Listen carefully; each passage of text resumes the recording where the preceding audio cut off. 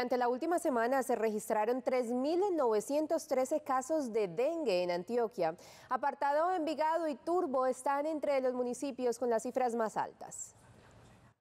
De acuerdo con los datos más recientes del Boletín Epidemiológico del Instituto Nacional de Salud, el Bagre, Apartadochi, Gorodó, Medellín, Caucasia, Turbo y Nechí son los municipios con más casos registrados durante la última semana algunos municipios, algunas subregiones que tienen mayor presencia de casos y por esto se debe tener mucha más precaución, sobre todo en esta época de receso escolar, que son aquellos municipios que tienen eh, temperaturas más altas, eh, humedad más alta y donde la presencia eh, del vector y por ende de la enfermedad está mucho más incrementada.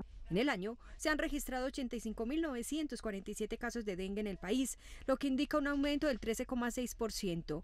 La incidencia nacional del dengue es de 259 casos por cada 100.000 habitantes, mientras que en 2022 fue de 138 casos por cada 100.000 habitantes. Las autoridades de salud recomiendan estar atentos a los signos de alarma, sobre todo en los niños.